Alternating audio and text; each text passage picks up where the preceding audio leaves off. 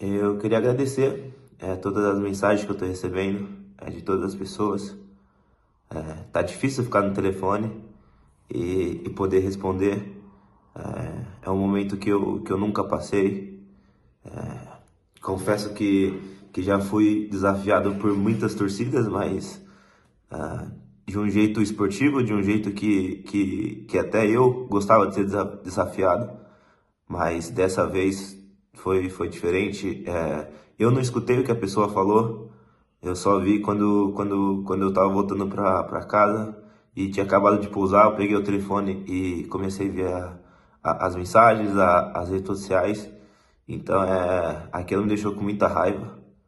Eu não, não sou de sentir raiva. É, pelo que as pessoas falam, pelo que as pessoas pensam, porque cada um fala e, e entende o que quiser.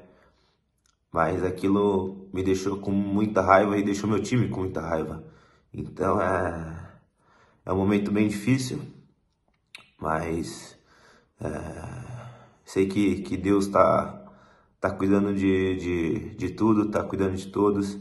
E queria agradecer pelas mensagens. É, eu também. É, não sou de, de ficar muito triste, mas realmente eu tô triste.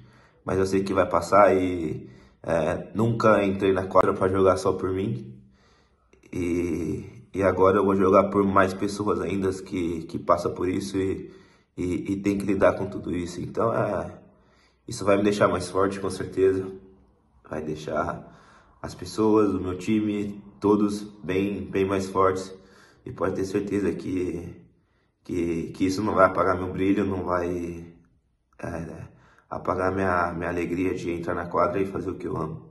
Então é isso. Um beijo, obrigado a todos pela mensagem e tamo junto. Qual?